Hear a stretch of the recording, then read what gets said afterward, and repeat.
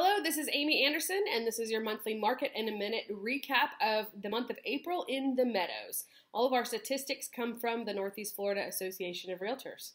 Um, you've only got two houses on the market. They're both on Ardmore Street. They're both adorable houses. I have to say, I prefer my listing. Um, it's it's got a great backyard. It's got a covered and screened back uh, patio.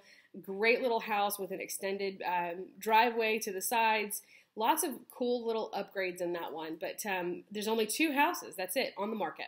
Um, there are four houses that are under contract. One of those is going to close at the end of next week. It's an Anderson Realty listing that we sold in a day with multiple offers, and it's going to make your price per square foot jump even more.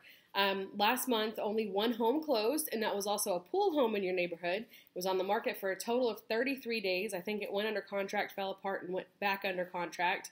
And that bad boy sold for $154 a square foot. That is right, in the meadows. That is an amazing price per square foot. Um, right now, everybody is concerned about what the pandemic means for them and how it's going to affect things.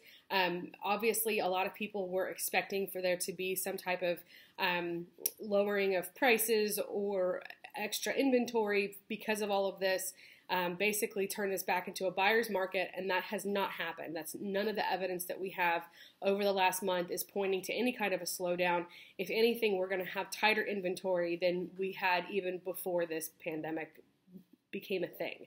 Um, so if you want to know, like I said, what a, what this means for the value of your home, or if you would like for us to maybe come up with a plan for you to sell either this year or next year, I'd love to just chat one on one with you and let you know what my thoughts are on the market and how it's going to impact you.